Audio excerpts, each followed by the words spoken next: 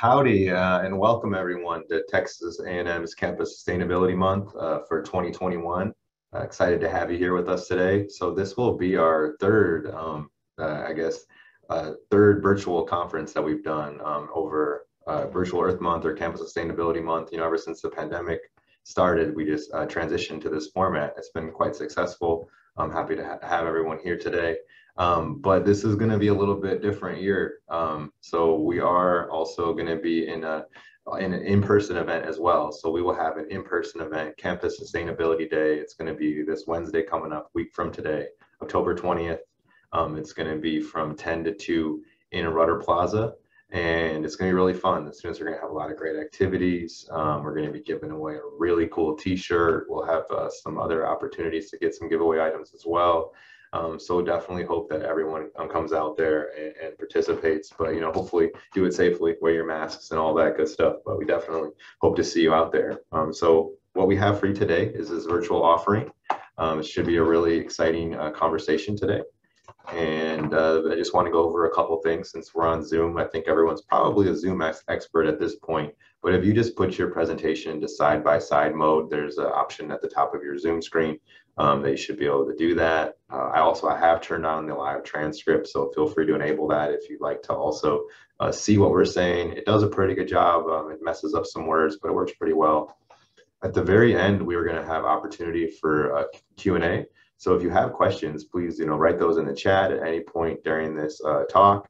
And, um, you know, I'd be happy to ask those to our presenters at the end. And just so you are aware, this is recorded, this is being recorded, and we will have this up on YouTube, up on YouTube, um, you know, um, as soon as possible. And also this is, uh, you know, you might be here for the prizes. So, uh, you know, that's cool if you are, you're going to hopefully get some good knowledge as well um, but we are going to be giving away prizes for participating in our virtual events um, for this semester. And uh, you actually are going to earn points by collecting code words during each, each virtual event. And one code word is going to be equal to one point, and then you would redeem that for one entry, and we'll have a random draw um, to get our, our giveaway items. And the, these code words, they'll be written on a PowerPoint slide. Uh, they could be spoken or they may be written in the chat. So those are the different ways you can get code words during this presentation.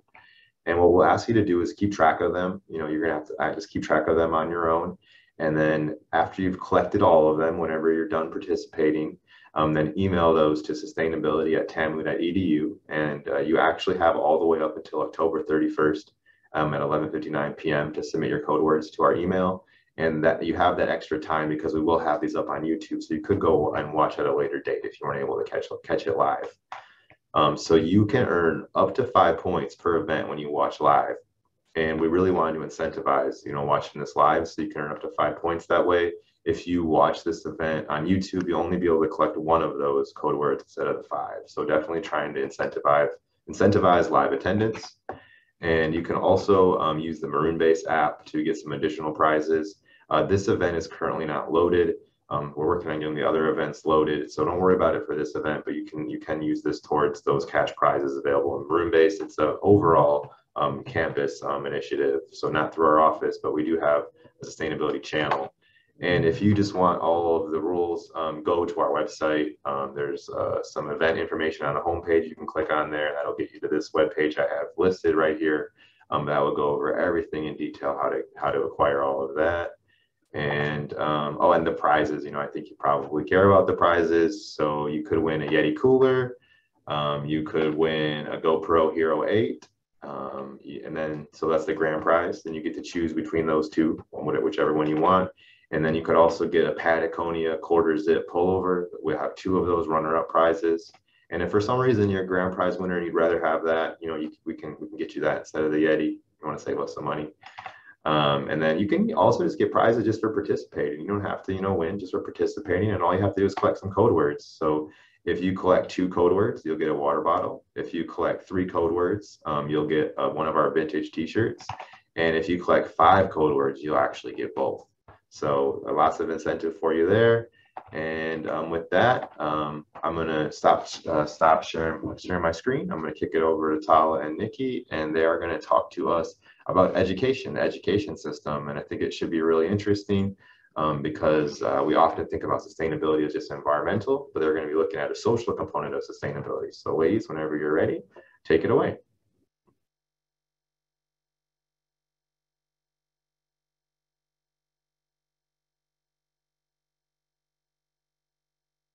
Tala, I think you're muted.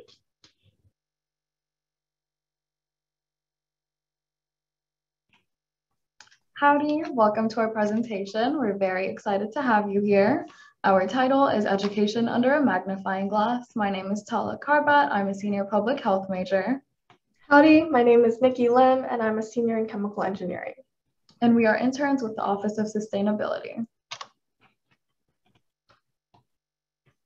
Our mission at the Office of Sustainability is to respect, protect, and preserve our resources all of our work can be tied to the United Nations 17 Sustainable Development Goals that you see here.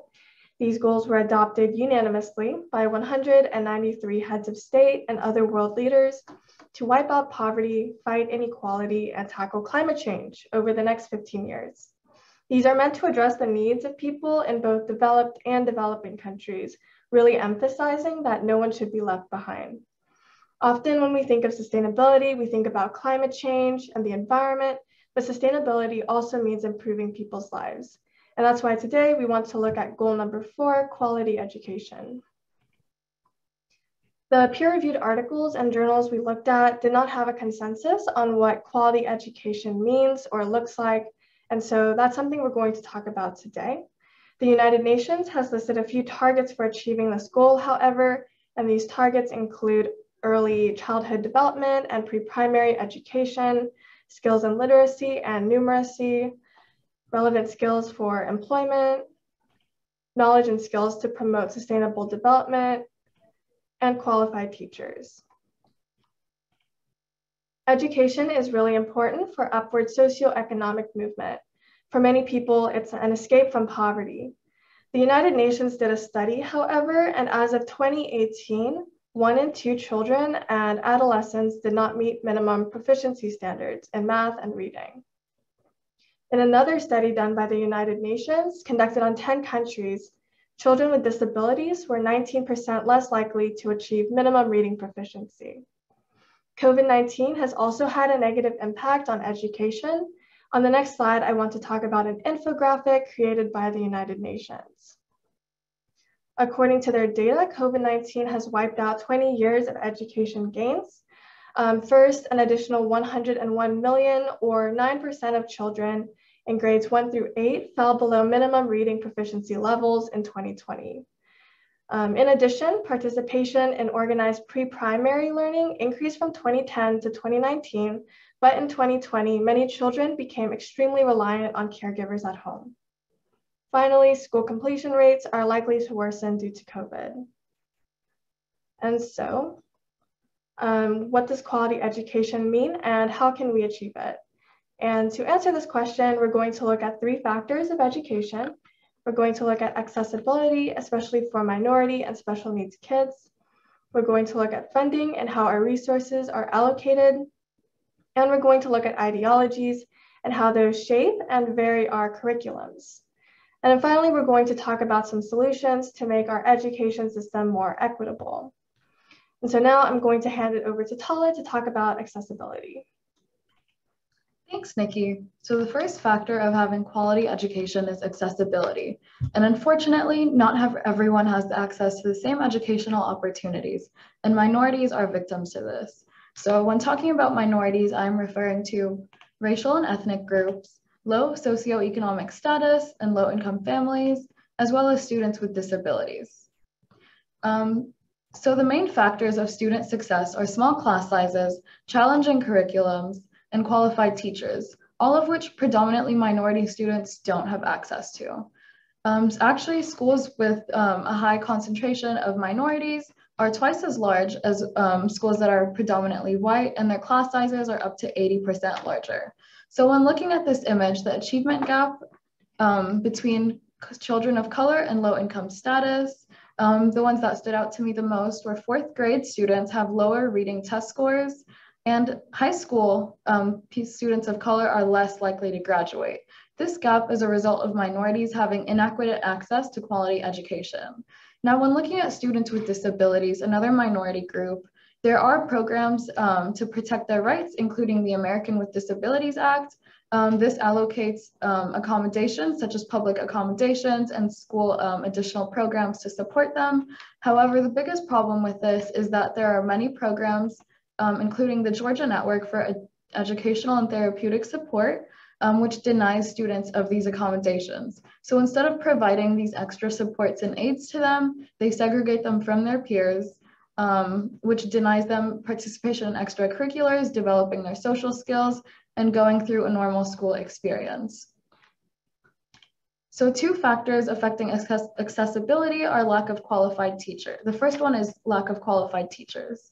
So when looking at this image, we see the three components of having a qualified teacher, including being caring and nurturing, connecting with students, and being experienced. So when we talk about experience, 25% of new teachers are actually not certified.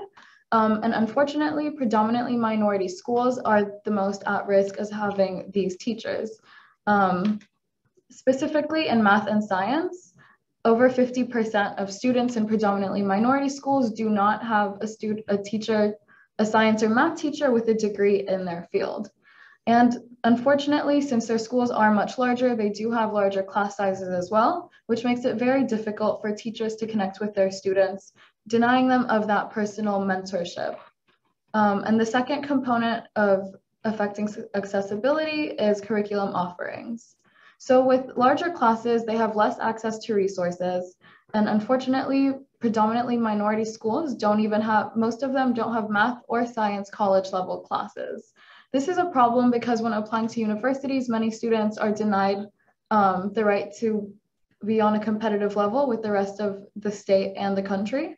Um, so when they don't have access to proper technology, um, such as computers and labs or high quality books um, and resources, that sets them behind. This means instead of giving everyone the same opportunity, these students are set behind because they don't have adequate access and minorities are affected the most by this. So going on to our second factor, funding, um, we are going to talk about reform and reallocating resources, and that is our first code word for today. So if you hold on to this word, um, you'll gain a point to win one of our prizes. So how are schools funded? Um, school funding comes primarily from local and state governments, including state and property tax. So because of this, wealthier areas um, have more funding, and this creates a disadvantage for low income families and their school districts. Um, so there are initiatives to increase um, funding per person per year at low income schools.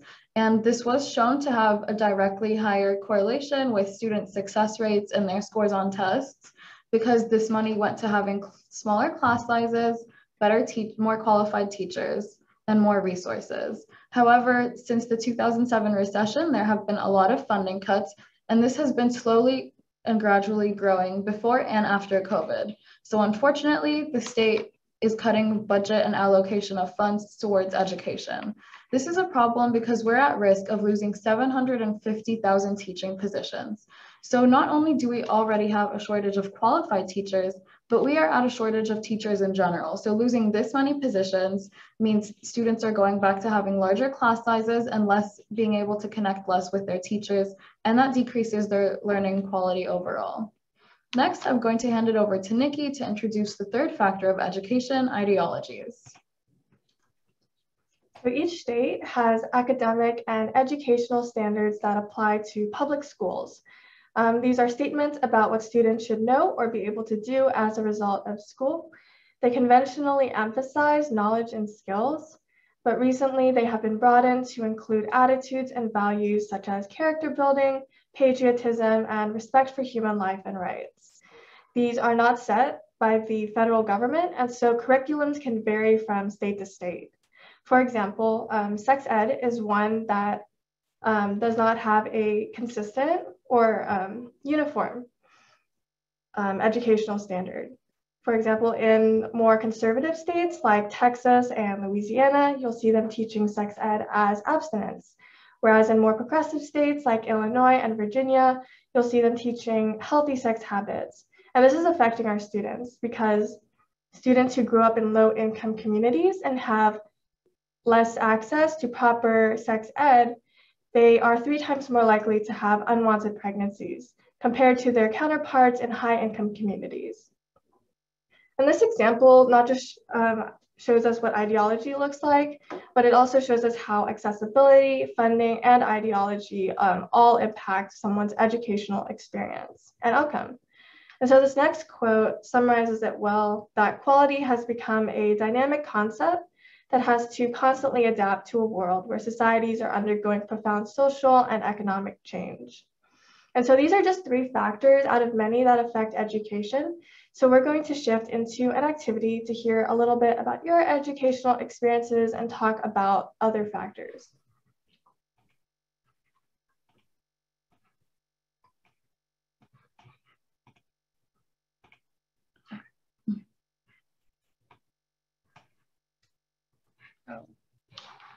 One moment, please.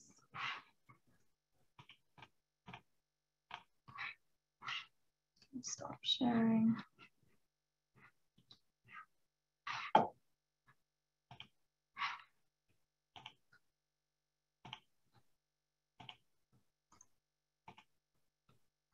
Okay.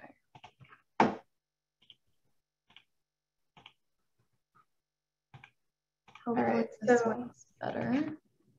Yes, it looks good. So y'all can scan this QR code or y'all can go to this website um, and enter the password. Um, your responses will be completely anonymous. We're just going to ask um, what you liked and what you didn't like about your educational experiences. And y'all can share however much or little as you like. So we'll give y'all a second to do that.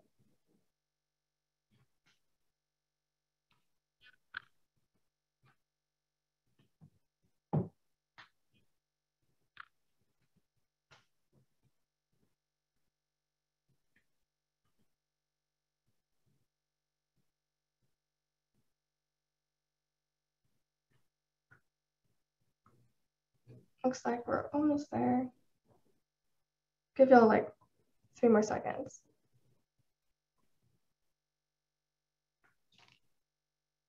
Okay, so the first question, um, what was something you liked about your education?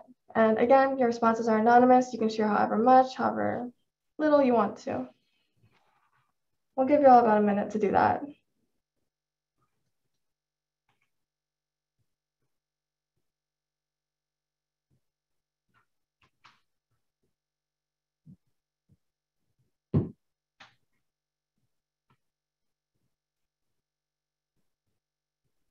These are some great responses.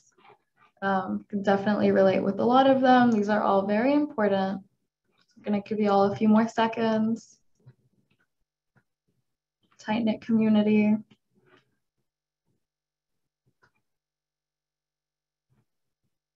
I see good teachers as being repeated very much. I agree. Hands-on experience.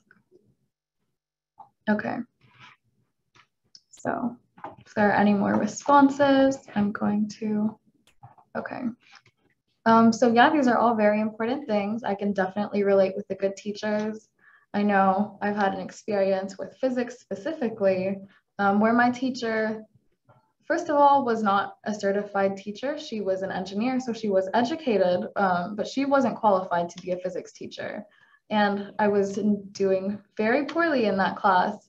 And as soon as I got a teacher, a tutor, my grades significantly increased and my understanding for the subject was very, very different. So this just shows that having a good teacher really does make a difference. Um, being in a caring environment where you feel supported, the tight-knit community, the opportunity to work with mentors. I that is an opportunity I feel like not everyone would get, especially in a large school. So with that, we're going to go into our next question. What was something you did not like about your education? So with this one, we're trying to see what opportunities some of you had that others maybe didn't. And I'm just gonna make a quick note that if you're doing it on your phone, you're gonna hit, have to hit like next question to answer this one. Oh, bullies.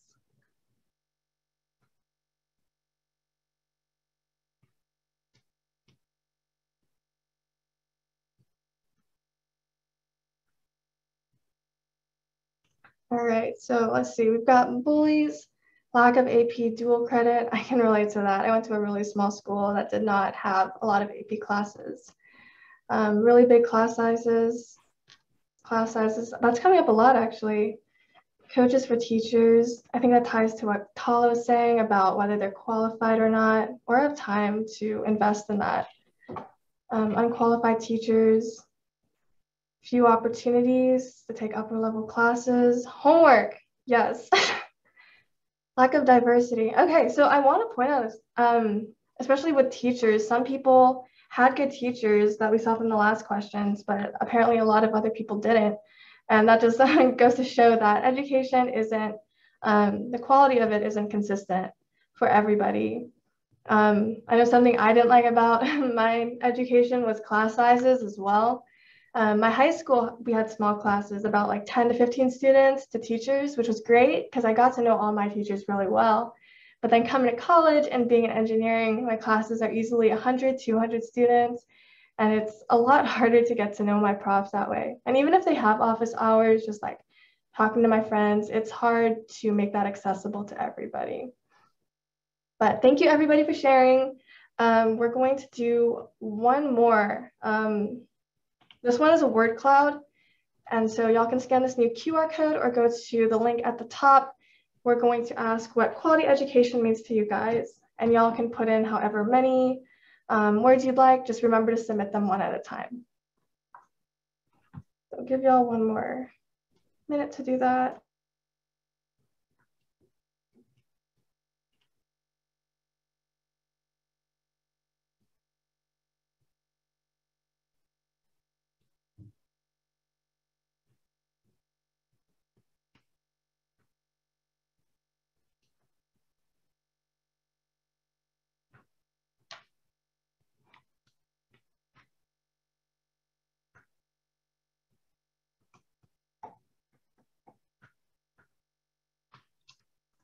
All right, I think we're almost there. We'll give you all a couple more seconds. And then if you weren't able to join now, the code will always be at the top of the screen. All right, so um, as I said, what does quality education mean to you? And y'all can go ahead and put in your responses. Give y'all about like 30 seconds.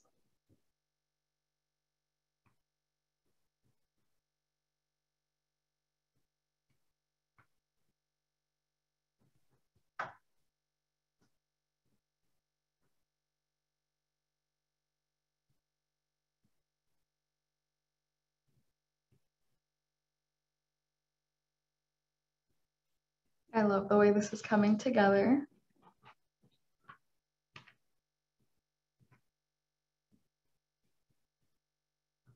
So these are all very important points. Education is more than just the free, three factors we talked about.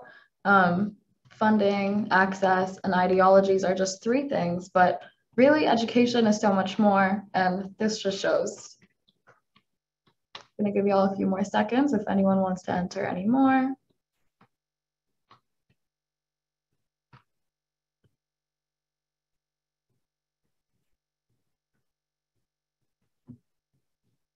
Community, good food, equity. Equity is an important one. Support, inclusion.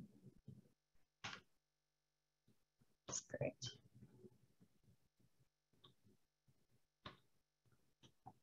Okay, with that, I'm going to hand it back to Nikki. Oh, still getting a few responses. Okay, we'll give you all a few more seconds.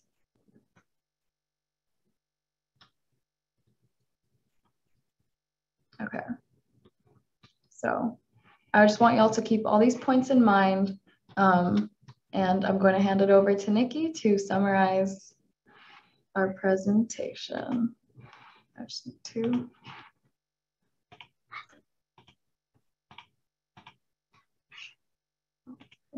There we go.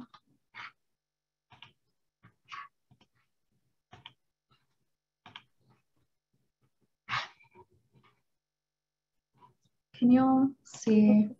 No. No. What about now? Yes. Yes, okay. That's good. All right, so in summary, uh, many students lack accessibility, funding, support, and more that deny them proper education. And this is especially affecting minorities, um, including those with special needs in low, in, um, in low income districts. But um, in our research, we've found some solutions that we would like to share with you all. Um, the first is just being educated about inequalities in our education system. Just being aware of the problem is the first step towards finding a solution. The second solution is auditing. And auditing is different from accreditation and student assessments. Um, accreditation has been criticized as being too broad, too costly, or formulaic, and it doesn't assess the academic experience of many students.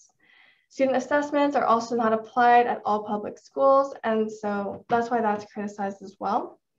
Um, in addition, both of these are unhelpful to well-established colleges and universities that are already performing above the threshold.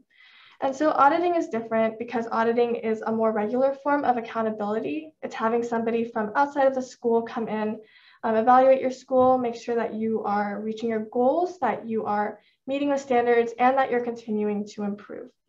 And even though this isn't done in the US yet, it's being done in parts of Europe and China. And so those are some countries um, and places that we can follow their example in.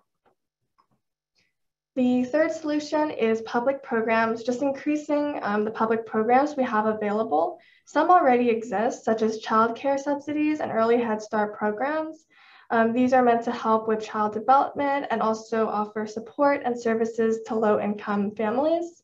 Um, and tax credits are another option.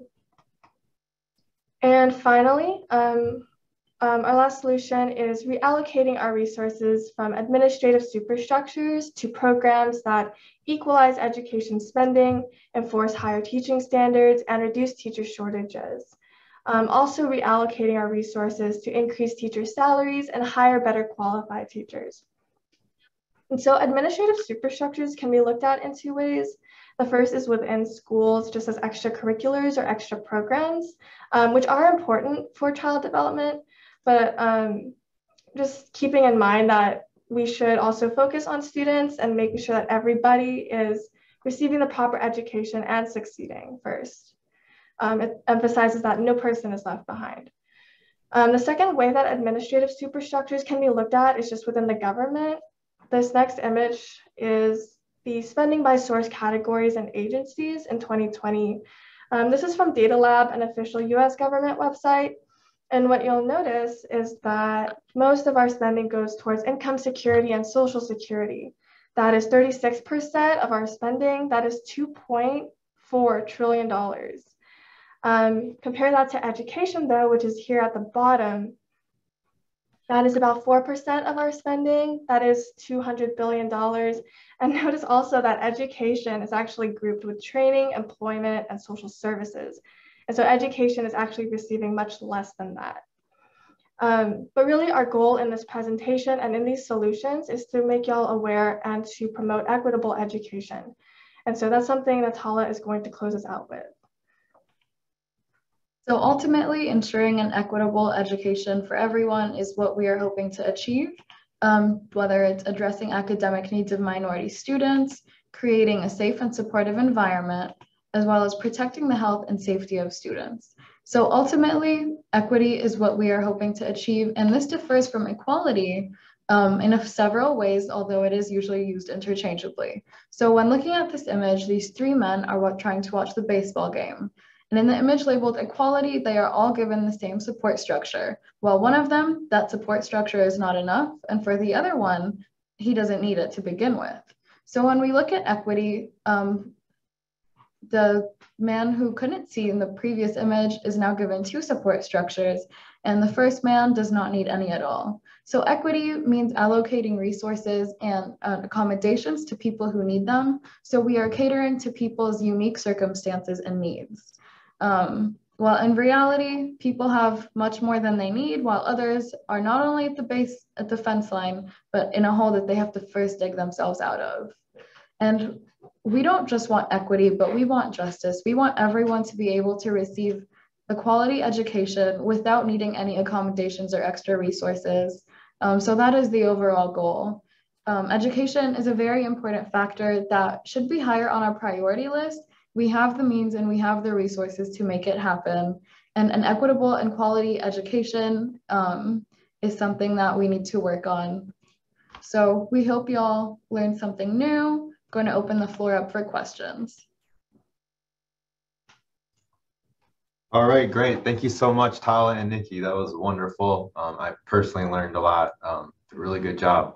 So uh, we're uh, we're at four o'clock. I know this is uh, technically over at four here now. So if you need to jump off, I understand. I would love if anyone had some questions that they could come up with. Um, I'm going to give you a couple seconds to think of them. Maybe you could write some in the chat. Um, if you don't have any, I have, I have one I can share. Um, but I just quickly do want to share my screen so I can tell you a couple things to look out for um, in case you need to go. So I'm assuming that y'all can see my screen now. And I just want to let you know that our next presentation is going to be on Monday, October 18th. It'll be 3.30 p.m. again. And uh, it'll be a couple of our interns, Jaden and Sylvia, and they're going to be talking to you about the houseplant industry, um, especially in, in terms of how much it has really grown during the pandemic um, and kind of the sustainability of that industry. And it should be a really interesting presentation. So join us. And also, Tala and Nikki are in our sustainability internship program. Um, so if you're interested in this, if you want to, you know, be in their their position in the future, please apply. Uh, we're going to be opening applications for um, spring 2022. Um, they'll open on November 8th and they will close on November 22nd. We'll send campus-wide emails. We'll be all over social media, so check that out. All right, so that's that's that. Now let's we can get back to the Q and A. Does anyone have any questions? Um, you can um, you can turn your camera on and ask. Um, and I don't see any questions in the chat so far. So I have a question I would like to ask. Um, so um, one thing that I was wondering is, have you given any like have you given any thought in terms of um, you know quality of education and just how, how what does that kind of mean like if we are to you know invest more money into our education like would that how would that be good kind of for our future or competing with you know kind of other countries and things like that? Because it seems like having a highly qualified population would be good for our country. Um, do you do you have any thoughts on that? I can start. Um, overall, having quality, and not just quality, but having a uniform education, I think is very important just for unity, um, for community, making sure that we're all working together. Um, just in looking at today, seeing how divided we are politically, I feel like at the core, it's because we can't agree on fundamental facts. Um, everybody's getting their information from different sources. Um, but if we had a quality education that was uniform for everybody, everybody would be learning the same thing. We would have a standard set of facts for everybody to work off of and to build off of. Um, and that would just lead to less disagreements about like what's real, what's not, um, and lead to more uniform, um, a more uniform America, yeah. Great, thanks, Nikki. Um, all right, uh, Tala, you can jump in if you wanted to offer anything else, or I can move on to my next question. Yeah, I think looking at the bigger picture, if we if everyone did have a quality education and we reached that point where the general public was highly educated and um, we could put our efforts towards better things, towards working towards our future and competing with other countries, um, rather than putting those efforts to fix the problems that we already have. So I think when we solve the inequity in our education, um, we'll have a lot of energy, a lot of funding to focus everything towards bigger things. Great. Yeah, thank you. And um, I know that in a lot of measures, the United States, um, in terms of like science and math and testing and things like that, we're not doing as well as other countries in, in those areas. And in fact, a lot of like our tech jobs and like really high, heavily science-based jobs are often being filled by people that are not, you know, here in the United States. So um, I think you know improving our educational system is really going to help with the sustainability and the future of our country. Um, so something we really need to think about. So thank you for that. Um, and then I just have one last question. I don't want to take anyone um, at your, all y'all's time too much, but I'm thinking about education. You know, we're also talking about sustainability. People often kind of think about it, the environment as one of the first things that they would think about in terms of sustainability. Um, is there a way that we can kind of like would having more of an environmental or sustainable kind of focused education, would that do you think that could help improve our educational system or educational experiences? And if so, do you have any insight on that?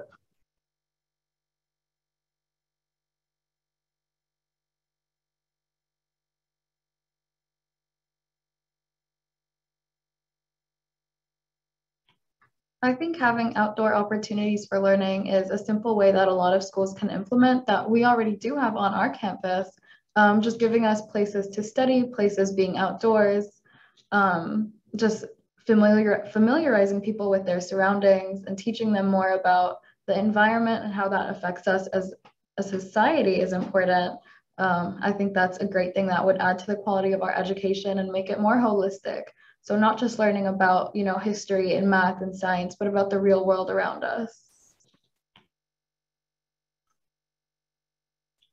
Definitely agree with what Tala said. Um, Ben, could you repeat the question one more time before I give my answer? I just want to make sure I'm on that.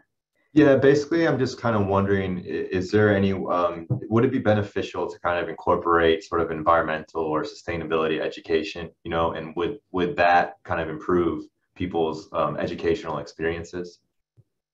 I think it definitely would. Um, kind of going off what Atala said, that giving people more realistic, um, maybe isn't the best word, but along that line, because as a society, you can notice that we're all shifting more towards sustainability. Like companies are starting to include a sustainability team or incorporate that into their technology especially notice that within like chemical engineering, like oil and gas companies are starting to focus more on renewables um, and just recycling and reducing their waste. And so educating our students on that will better prepare them for the future, for their jobs, um, but also just for the future in general of our communities. Um, yeah. Great. Thank you, ladies. Uh, that's all my questions. Uh, thank you all for joining us for our first uh, session for this semester. Please uh, come back on uh, next Monday there, the 18th, and join us for round two.